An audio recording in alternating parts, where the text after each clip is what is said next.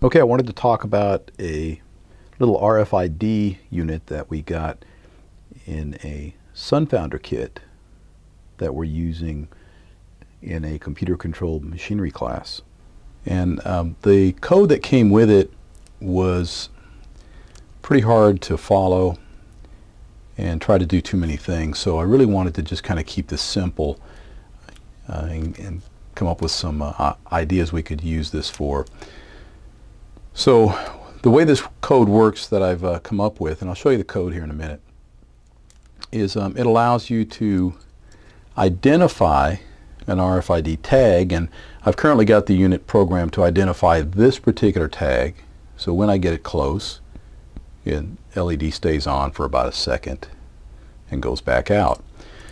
If it detects a bad card or a bad RFID tag, then it blinks. And you could have it do any number of things.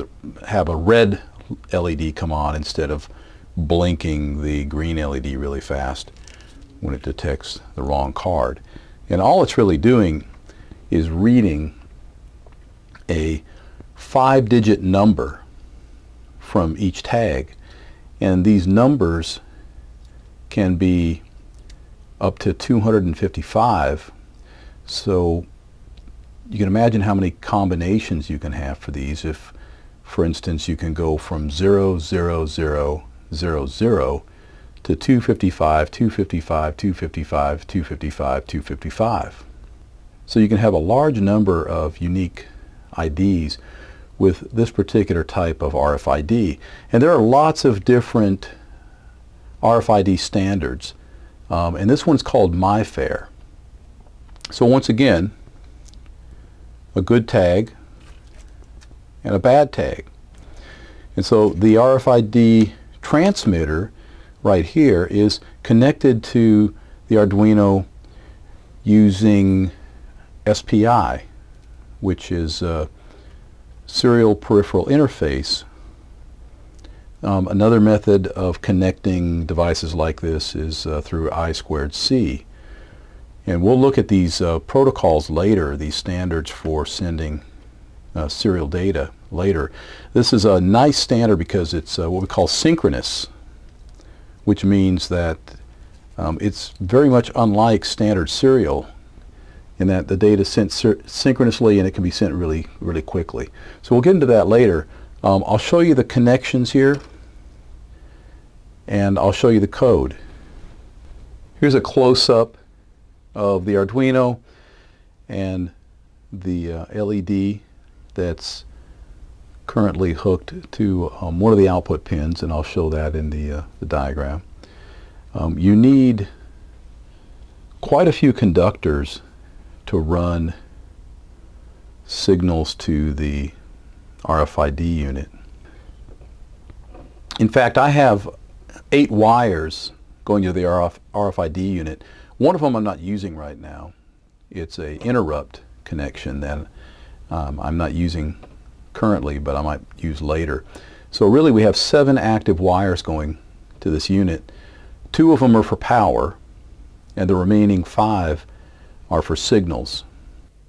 Here's the code I used to uh, read the RFID card and sound the alarm. And what you have to do initially is include the uh, SPI library and the RFID library.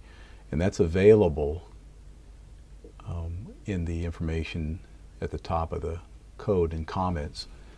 The way this code works is um, initially I just monitored to see what I was getting when I did a RFID read. So there are actually a couple of methods here for the RFID object. Um, the first one is you can check to see is there a card. And so if the system detects a card, then you can do a serial read of the card. And it will read each of the numbers, each of the five numbers in the card. These are the ID numbers. And in this particular case for my card, they were 89, 216, 213, 229, and 177 for this particular card. Every card is unique, so you're going to have to read the card initially to get these numbers out of it. You won't know what they are until you do a read. So I wrote some code that's at the bottom here um, that's only for doing that.